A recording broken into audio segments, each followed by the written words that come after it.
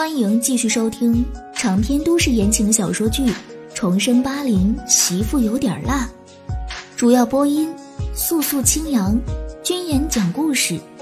喜欢本故事，记得订阅和关注，感谢您的收听。第七十集，接一杯热水都能碰见人贩子，夏夏兰觉得自己挺倒霉。女人想干嘛啊？夏小兰才不会忍下一切和对方周旋，她没那功夫。直接问他是不是人贩子，胖女人羞恼不已，要把夏小兰扯到一边儿走走走，我们找人理论去。你就是人贩子。夏小兰力量上不敌胖女人，她另一只手已经摸到了周成给的电击器，她正准备给胖女人来个狠的，周围的人已经议论起来，有人上来劝架：“大姐，人家小姑娘好像不认识你了。”哎你抓着人家胳膊不放干啥呀？嘿，不会真的是人贩子吧？听说火车上有专门偷小孩、骗女人的人贩子，遇见年轻女同志就说让去南方赚大钱，结果就是把人卖掉。乘警呢？快，快去叫乘警来！反正不能被拖走。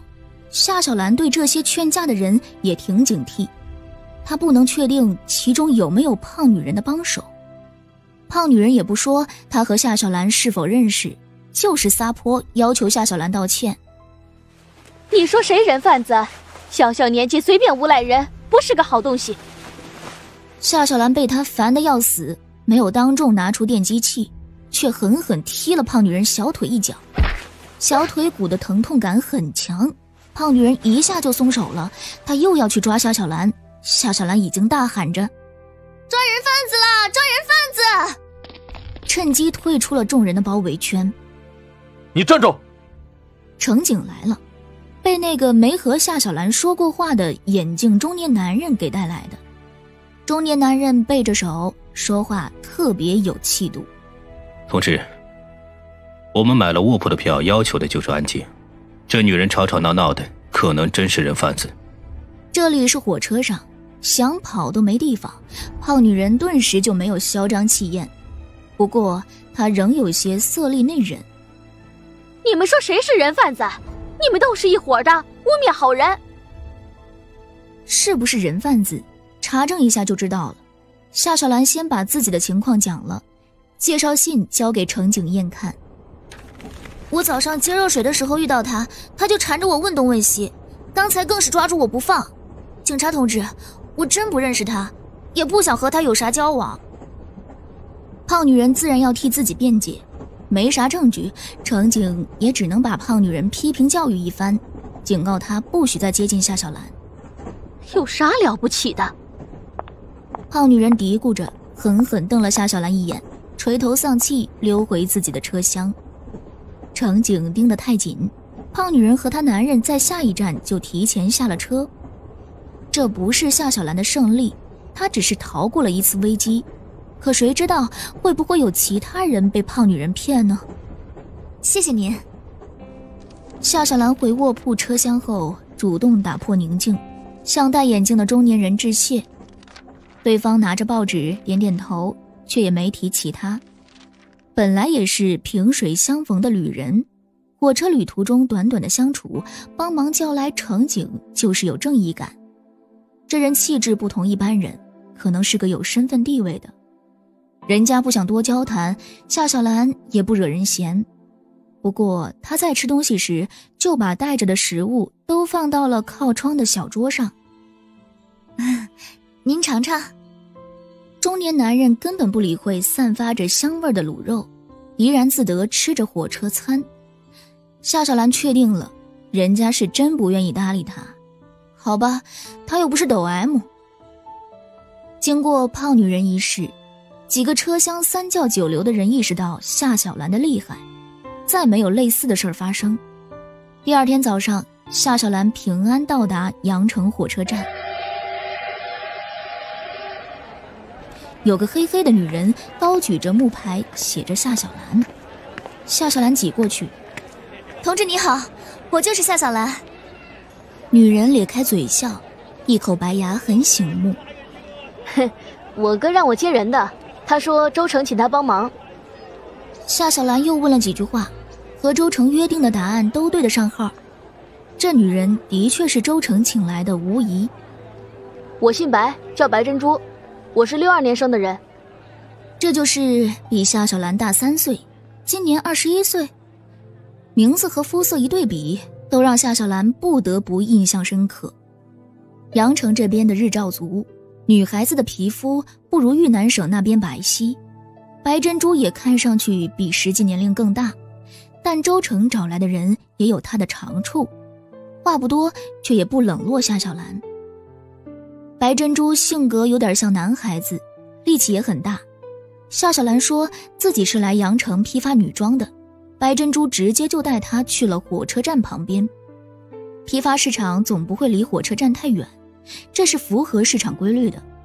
大宗的货物需要靠火车运输，在今后很多年里，阳城的服装批发市场一度掌握着全国百分之五十以上的货品量，各省的服装批发市场也从阳城拿货，最前沿的一手货源就在这里。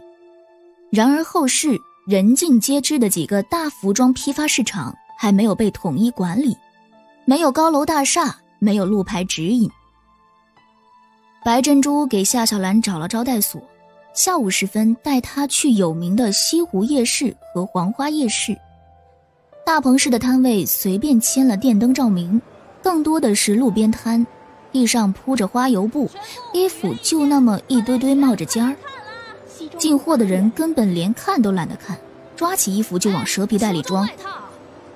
此起彼伏的声音扰乱着心神，夏小兰并不急着下手，一家家看过去，她提着的袋子里一件衣服都没装。白珍珠紧紧跟着她，怕她被当地人欺负。白珍珠就是典型的阳城人长相，一开口就是浓浓的地方口音，谁也别想轻易糊弄她。